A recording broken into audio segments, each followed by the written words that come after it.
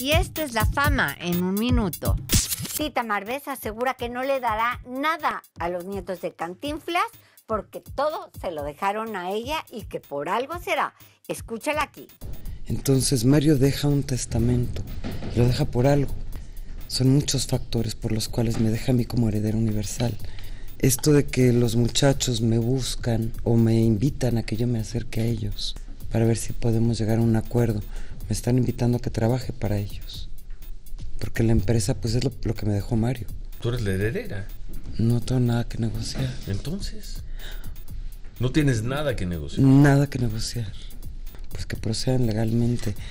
Ojalá, de verdad, espero que, que estén bien, muy bien asesorados por abogados eh, capaces.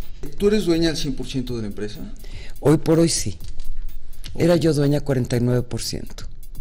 Pero en su testamento Mario Arturo incluso me, me hereda sus acciones de la empresa. ¿Qué tal de bailadores Shakira y Gerard Piqué en la boda de Messi?